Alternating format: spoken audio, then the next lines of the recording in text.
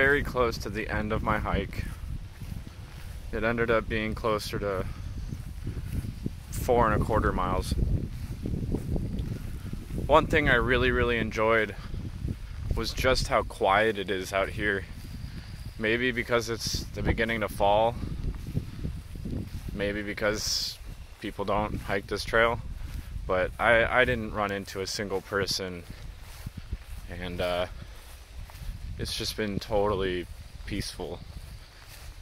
I feel like I've gotten a lot of time to reflect and move through my through my own mind, the labyrinth of my mind. So I'm glad I came out here today. 10 out of 10 would recommend Bong State Recreation Area, the Blue Trail. Peace, guys.